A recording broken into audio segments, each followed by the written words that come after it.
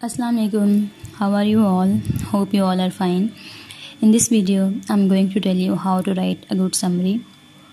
You have done your two literature lessons, The Robber Bridegroom and Tom Thumb. So obviously you have to deal with the summaries of the lesson also. So this video will be going to very helpful and beneficial for you. Let's get started. First of all, you have to give proper beginning, middle and end of the story in beginning you will introduce your major characters and you will give setting of the story.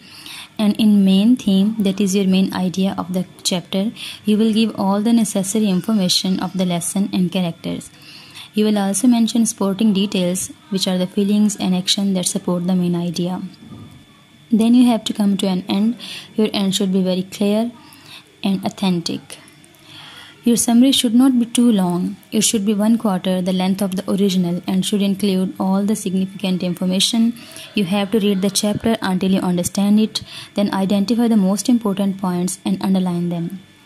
Begin with a proper, clear, and direct station of the title or the topic sentence. Then, in main ideas, your main theme, that is your main theme, it should be factual. Do not include examples or explanations. Use your own words as far as possible. Contain key facts only and keep the same tone that is the original piece.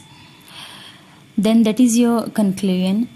To come up to conclusion, signal that you are at the end of the story by linking the first and final paragraph together.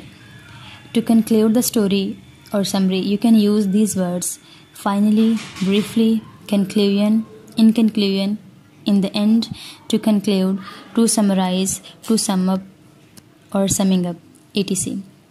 You will not give your personal opinion in, con- in conclusion, and no formed conclusion should be there. After giving proper and suitable conclusion, you have to rewrite the paragraph and make sure there are no language errors. Check the paragraph, check for the grammatical errors, punctuation, and sentence structure. In this video, Hope so. I have defined all the key points to write down a good summary. If you will uh, follow these points, you will easily able to write a good and helpful and very very beneficial summary.